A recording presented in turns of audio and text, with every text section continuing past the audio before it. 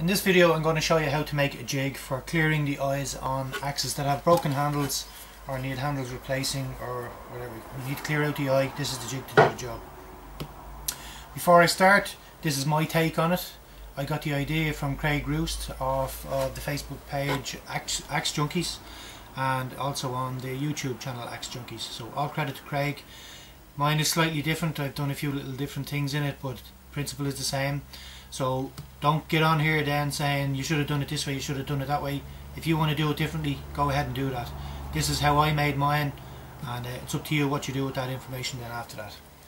So to begin with I'll give you a breakdown on what you need or what I used.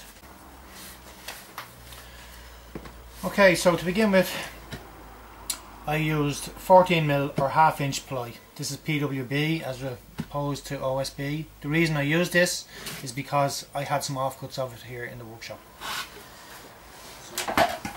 From an 8x4 sheet of ply I had an offcut like this and this actually determined the size of my jig to begin with. So rather than ripping off new pieces I just cut the pieces to length and that's what left me with this and determined the overall size of it. Okay, so here's our sheet of ply. Now as I said this was an off cut I had here and that gave me a width of 9.5 inches or 24 cm. Okay, so that determined the overall width of each of the three sections of the main part of the jig. Now to give me an efficient size jig I decided to go with 14 inches which is also 35 and a half cm. Okay, so we're going to need three sheets of that. So one, two, three. So I'm going to go ahead and mark these out and uh, we'll start cutting out them.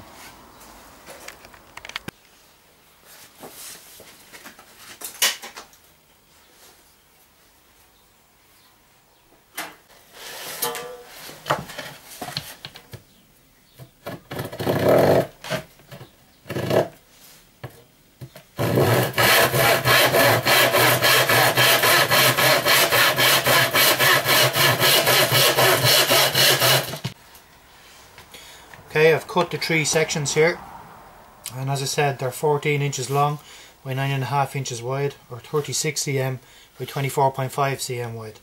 So we need the three sections of them, that's the bottom which is the plate and the two sides.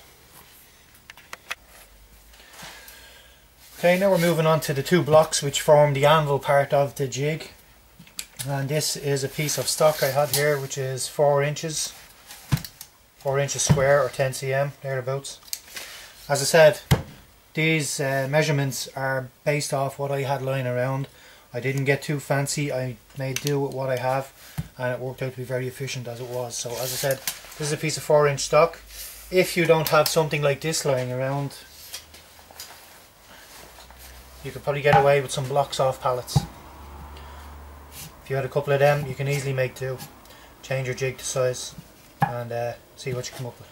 Anyway, I had some of this, it's a good heavy piece of timber and that's what I wanted. So as I said, it's 4 inch square and I wanted it to be approximately 5 inches long. Okay, so I'm going to mark that out here now. With a pencil. There we go. 5 inches.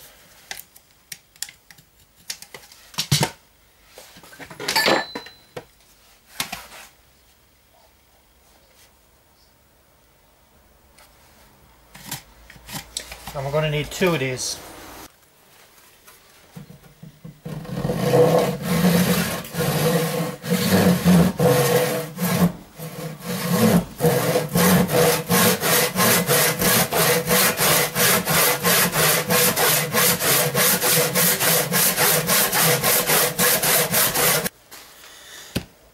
Okay, there we go.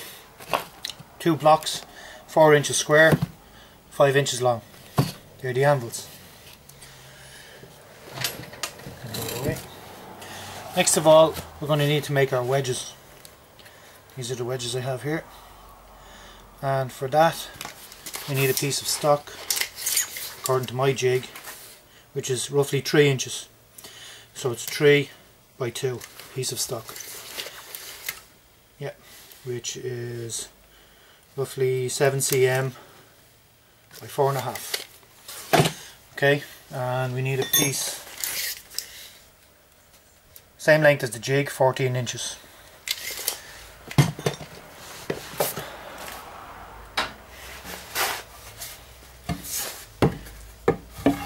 Here's mine.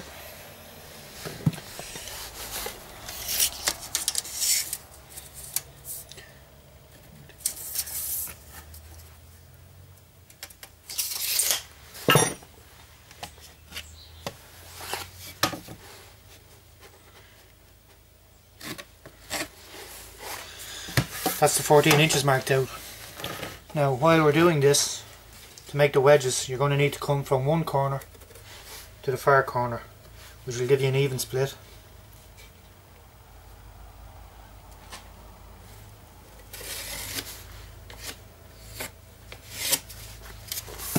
Here we go. One side, the other side. So I'm going to get that cut and then I'll come back to you. Okay, here's my two wedges. They're uh, symmetrical, so it'll give me an even hole in the jig. What I've also done is I've drilled two holes in them. You can see there. And I've put in some paracord. This just makes it a little bit easier to remove them when uh, you're finished clearing the eye. Okay, on both ends. As you can see. Now we have all the pieces that we need and we're going to start putting it together. Okay, here we go, first part of assembly. So you start with your baseboard. This is the board that it's all going to be mounted on and you need your two blocks. One, two. Now what you need to do, just to keep everything ship shape, is find a midpoint on your baseboard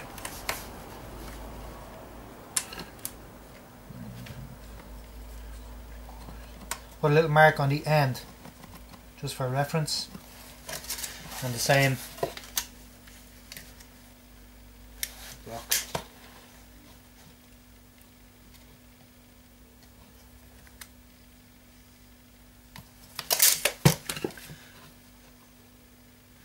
Now the way I used to attach these was just with some simple drywall screws or chipboard screws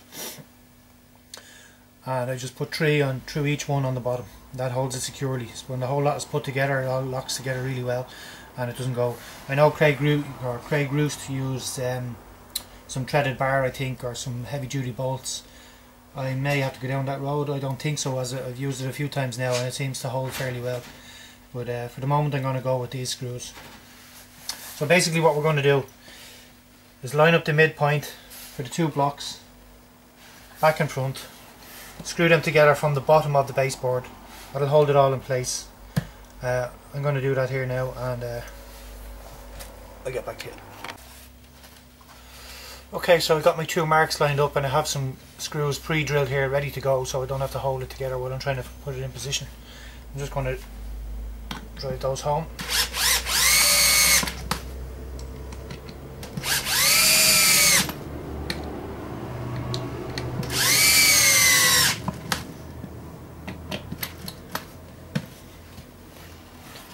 it over and do the same on this one.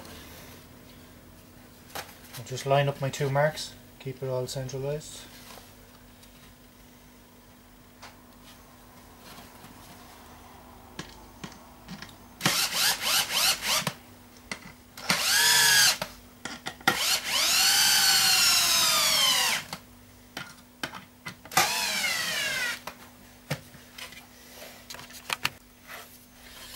Okay, there's the two blocks all fixed into place. Now I'm going to start assembling these.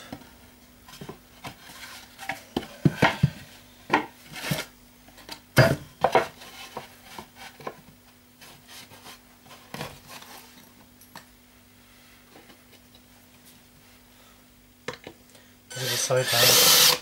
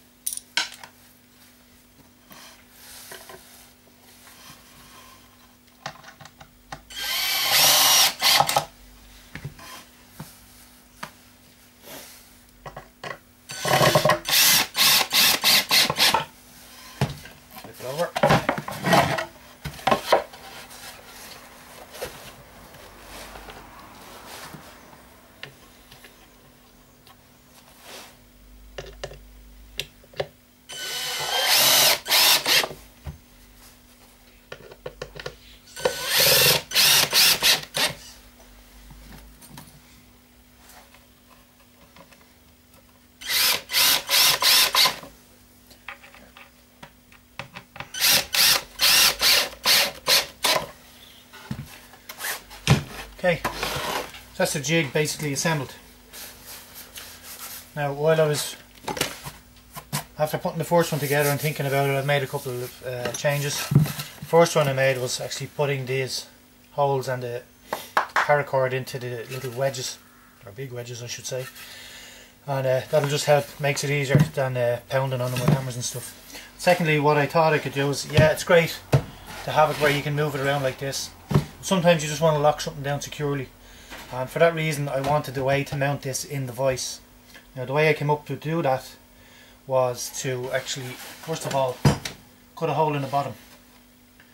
That'll allow any of the waste to fall through as you pound it out give you a bit of clearance right? And all I did there was come inside here the four corners with a drill bit from the inside drill them out and then I just chiseled out the rest basically. I could have taken it all apart and jigsawed it or whatever but jigsaw is buried in the back of the press and I had a chisel handy so I just tapped it out in a couple of minutes like that. Um, so that's basically together like that. What I'm going to do then so I can mount it in a vise is I'm going to use another piece like this. I'm going to mount this in the vise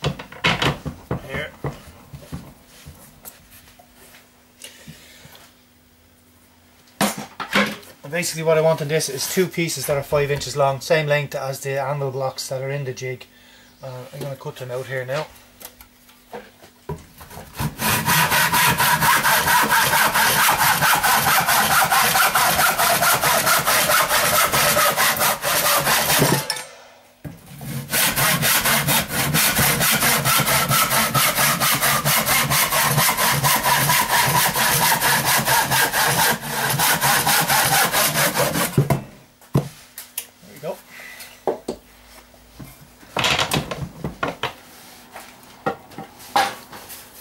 These on the underneath of the jig.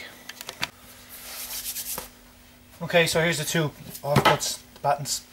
I've pre-drilled holes in them and I have some screws here, some decent screws this time to hold it in place. Um, I want these to be removable and that's why I've pre-drilled holes and all, just to keep it all, you won't be chewing up any wood. So if you want to use a flat in the bench you can, if you want to put it in the vise, it'll only take you two minutes to do that. Okay, so I'm going to put these in place.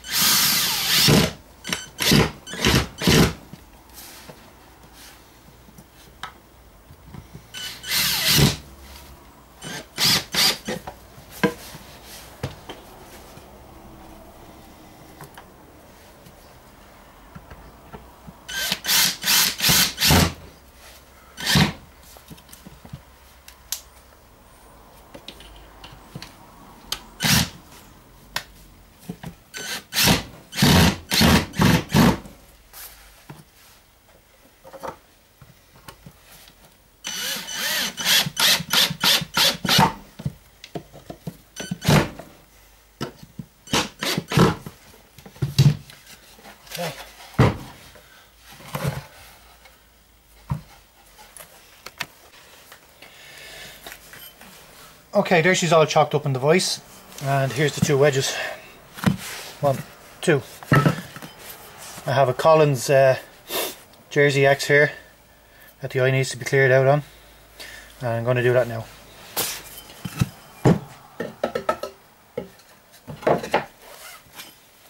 When you're putting it in, you'd want to make sure the pole of the axe is sitting on one side of the anvil. And then push the wedge in, just to get it nice and snug then push the other side wedge in, then gently tap them in.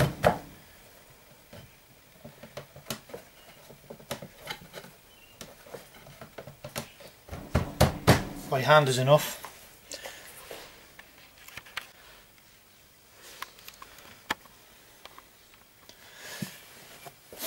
Okay, here we go, it's all set. I'm going to time it. It's actually a little bit high for me here. I might cut down the sides about an inch and just give you a bit more clearance. But uh, let's see how long this takes. I have a 14 mil punch here and I'm going to pound it out. There we go. Done.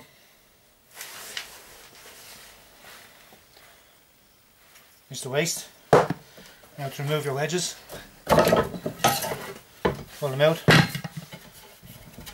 and we have one cleared die.